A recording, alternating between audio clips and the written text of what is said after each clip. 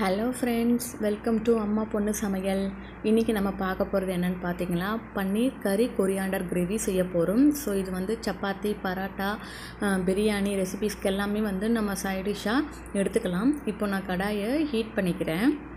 கடாய் heat ஆனதும் ஒரு ஒன்றரை ஸ்பூன் அளவுக்கு நான் ஆயில் ஆட் பண்ணிக்கிறேன். ஆயில் சூடானதும் ரெண்டு பச்சை மிளகா கூடவே ஒரு துட்டு இஞ்சி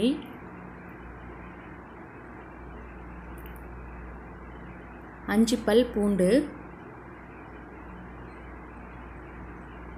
ஒரு ஸ்பூன் அளவு மிளகு அரை ஸ்பூன் அளவுக்கு சோம்பு ஒரு ஸ்பூன் அளவுக்கு சீரகம் ரெண்டு பட்டை நாலு கிராம்பு. இதில் ஆட் பண்ணிக்கிறேன்.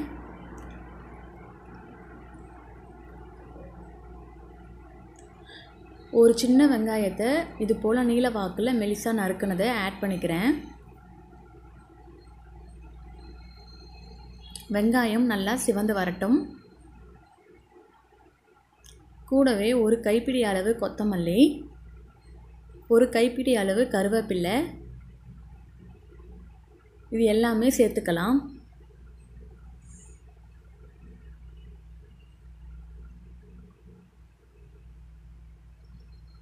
எல்லாம் நல்லா வதங்கினதும் ஒரு இருபத்தைந்து கிராம் அளவுக்கு வேர்க்கடலை வறுத்தது இதிலையும் சேர்த்துக்கலாம். தோல் நீக்கி சேர்த்துக்கலாம்.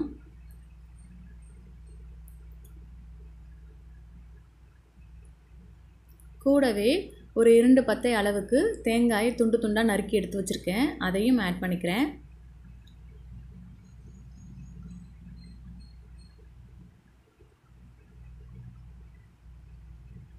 இப்போது அடுப்பை ஆஃப் பண்ணிவிட்டு அதை நல்லா ஆற விடலாம்.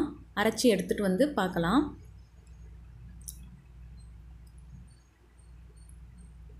இப்போ கடாயில் எண்ணெய் சூடாயிட்டிருக்கு. இதில் ஒரு சின்ன வெங்காயத்தை நீல வாக்கில் நறுக்கினது அதை ஆட் பண்ணிக்கிறேன். அது நல்லா வதங்கி வந்ததும்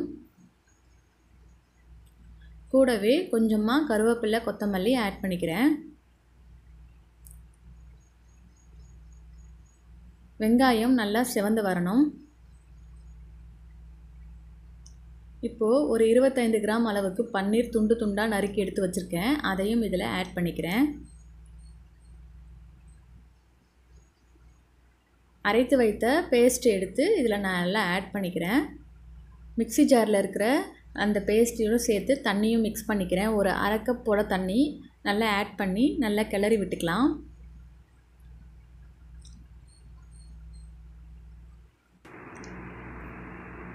இது கூடவே ஒரு ஸ்பூன் அளவுக்கு தனியாய்த்தூள் ஆட் பண்ணிக்கிறேன். தேவையான அளவு உப்பு அதையும் ஆட் பண்ணிக்கலாம்.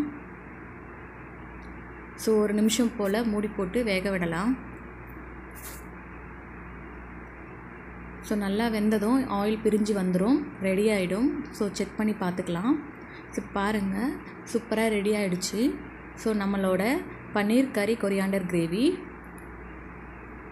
ஸோ இந்த வீடியோ உங்களுக்கு பிடிச்சிருக்கும்னு நினைக்கிறேன். பிடிச்சிருந்தா லைக் பண்ணுங்கள் ஷேர் பண்ணுங்கள் மறக்காமல் சப்ஸ்கிரைப் பண்ணுங்கள் பக்கத்தில் இருக்கிற பெல் ஐக்கானை கிளிக் பண்ணுங்கள் அப்படியே ஆளுன்ற ஆப்ஷனையும் ப்ரெஸ் பண்ணிக்கோங்க. தேங்க்ஸ் ஃபார் வாட்சிங்